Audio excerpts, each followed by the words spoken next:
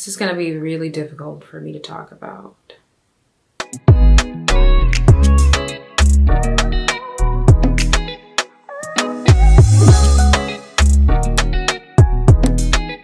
Hey guys, what's up? My name is Kiya Boyd. Welcome back to my channel. Nice to see you all again. Hi. So I feel like I had to make this video because of what's been happening with a certain YouTuber. And I've actually gotten some DMs privately, of course, that's why they're DMs, about this particular thing. And it's relevant to me particularly because I've worked with this YouTuber before on a couple different occasions and I was cool with this YouTuber and we were friends. But up until this point, I feel like things have have gotten really bad. And I'm not making this video for clout or because it's trending or, you know, just to have my little two cents in there, but it's because this stuff is actually really serious to me. Like when it comes to these things that I'm gonna talk about today in my video. So I got the whole video about Juan Nation in my videos and I got the idea of making the video from Chili Got Soul, which I'm glad I did make that video because I wanted to bring awareness to that situation, not because, you know, subs and all that stuff, because like honestly, honestly, who cares about that when people's lives are affected by situations like this? So I'm gonna get into it. So you guys remember this YouTuber that I made a video with before on this particular YouTuber channel and my channel. This YouTuber has some rape allegations that were made against him and it's a real bad situation it's not because I sympathize for him in the slightest but because I'm always taking the victim side like I don't take stuff like this lightly it's absolutely horrible and quite disgusting what I've read that's transpired and just people and this YouTuber's comments like pretty much saying how they forgive him but it's not up to you to forgive anyone this is uh, clearly up to the victim but people don't seem to understand that they're not the ones who hold the forgiveness in their hands I'm starting to not like YouTube as much because it's just like, who gave people the internet? Like, why do some people have internet? It's really disgusting to, to see the comments where it's just like victim blaming or sympathizing with the perpetrators in certain situations like this. Now, I can't mention the YouTuber's name because of defamation and I'm in Korea. So it's like, you know, it's real serious when it comes down to it. So I get, well, I can't really say certain things and I can't say too much or give too much details, but I'm sure you guys can put two and two together, you know. I recently had to unfollow and pretty much distance myself from this person because it's just like, no. From what I've read and from the research that I did, regardless of what little influences this person, YouTuber, had behind why he did what he did, it doesn't make it okay. It just doesn't. And being a woman is already freaking difficult because it's like having to come forward and talk about stuff like this publicly is kind of embarrassing. It is because it's like you, you know, have to be like, somebody did something to me and it, it violated me. It's hurtful and embarrassing because people sometimes people don't believe you. And in these cases, yeah, because as you can see from the comments from this person's supporters, the YouTuber supporters, it's just like baffling how they tend to excuse what happened and make it seem like, you know, it's the victim's fault. And I hate when people use this excuse like, well, why would you invite someone over to your house? Maybe because I think that person wasn't expecting them to be hurt or raped or molested in any way. Like, are y'all dumb? Some people are really stupid. Who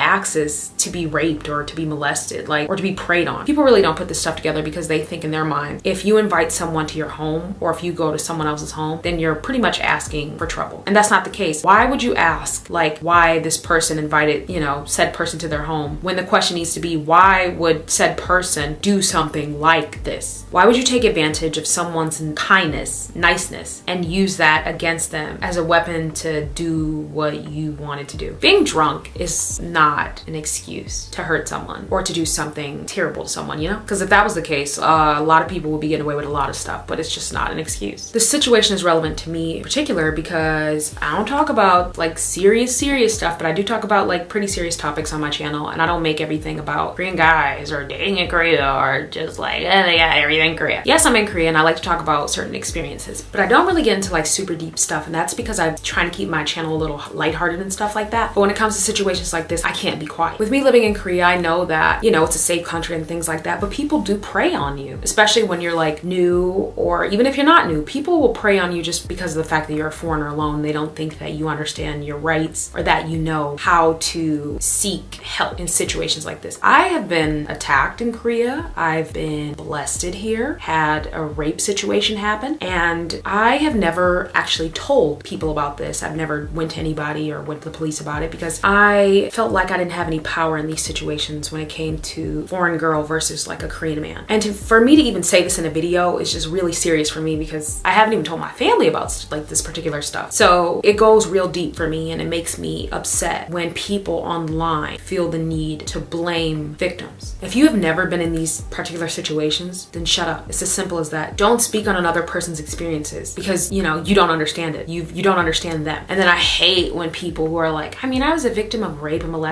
and even this sound fishy. What? Girl, what? Please, please keep that stupid energy to yourself. Please, please keep them dumb thoughts inside your own head. Don't speak for other victims. Don't speak for anybody else. I get that you've had like your own experiences, but that's that's just it. They're your own experiences. So don't speak on anybody else's. Shut up and keep that energy for the freaking rapists and the molesters. Keep that energy, okay? So my thoughts on this this whole situation is that it took her over a year to gain traction. And the fact that people are like just now listening to her is really freaking sad. Now, don't get me wrong. It was decent of him to make a video saying he apologizes and that he's sorry and stuff like that. Like that's nice. That's that's cool or whatever, but still don't take away from what happened. It doesn't change any of that. And his YouTubers might accept his apology. Okay, that's good and all, but what about the victim? I feel like when it comes to the laws in Korea and things that transpire between Korean men and Korean women, Korean men often get let off really easy. Even if we're talking about like the Nth Room or the burning sun incidents. It's absolutely crazy how these people who committed these freaking serious crimes got off with like the lightest sentences I've ever heard of. People who touch kids here or like rape people or just child molesters, they get off with such easy sentences here because the laws like have loopholes for them or it's just it's just flawed in certain ways and it's so sad. You can get away with so much crap here, but then get locked up over smoking a joint for like years and years. That's sad because it's like I think about someone I knew here like years ago who ended up getting locked up for possession of marijuana and it's like that person got closer to a decade than what half of these people who like commit these crimes when it comes to like sex crimes and stuff like that. They get like two years, three, maximum maybe five. They don't get a lot of jail time and they can leave that joint and just live their lives like nothing ever happened. I'm not sure if there's a sex offenders registry list in Korea. I'm I'm thinking that there's not. I can't be too sure, so don't quote me on that. But a lot of times what I've read is that when people do crimes and stuff like that or when they get out of jail, they can just, you know, sign up to become taxi drivers and it's not like their crimes are public record. It's not like public knowledge unless they're like featured all over the news or whatever. But most cases their faces are hidden even in the news when they commit these crimes, their faces are hidden and their identities are practically freaking hidden because that's their right. And that's crazy. So crazy. So I am just, I'm baffled by this whole situation. And my thoughts will forever be with the victim. Like my thoughts are just the victim needs to get justice. That's that's it. At the end of the day, I don't care about any friendship I have with anyone or what anybody has to say about it. The justice, the victim is the one that y'all should be feeling bad for. I'm done with the victim blaming. I'm so over it. I'm so sick of these freaking comments. So done with the way people react to YouTubers and how they idolize them for the stupidest shit. Like, do y'all realize that these YouTubers are not God? These YouTubers are regular effing people. They're, they're, I'm sorry, but they're just regular people. They're nobodies. I'm a nobody. Just a mug who sit in front of a camera and say, hey guys, what's up? Like, I'm here and I'm gonna be doing this crazy crap that y'all don't give a shit about, but y'all gonna watch it anyway. That's what a YouTuber is. But I just don't care for the way that people online idolize these stupid freaking YouTubers to the point where they just won't accept when people can be in the wrong or people can do really messed up crap and they get away with it because of their following or because of religion. Kind of reminds me of how like the Christian church is when it comes to like rapists and molesters and all these other people, you know, who do stuff to these innocent children, but then they don't bat an eye. Or sometimes in like black families when the relatives touch other children but they don't say anything. But that's neither here nor there. I'm not not gonna get into that. It's just crazy to me. I don't understand people and i really just don't understand the world these days. Like it's really gone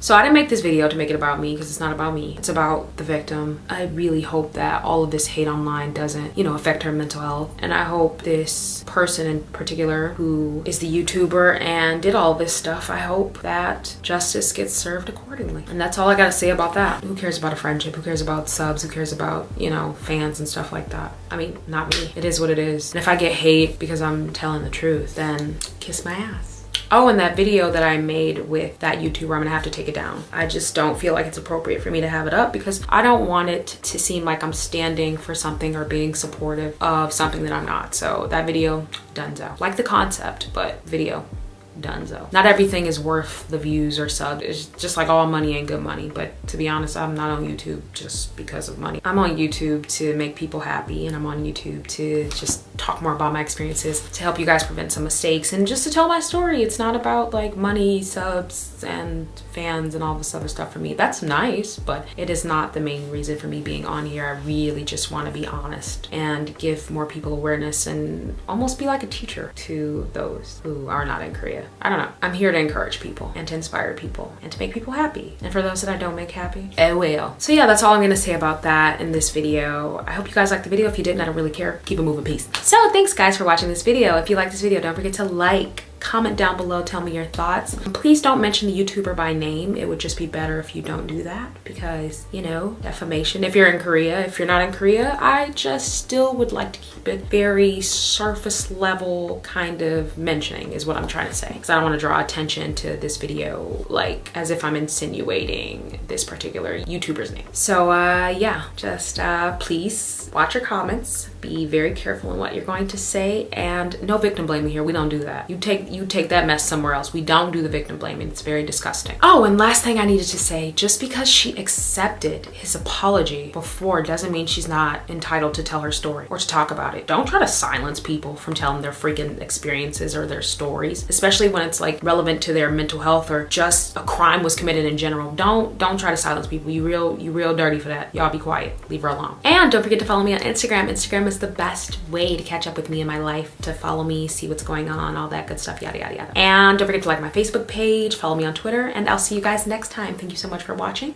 Bye.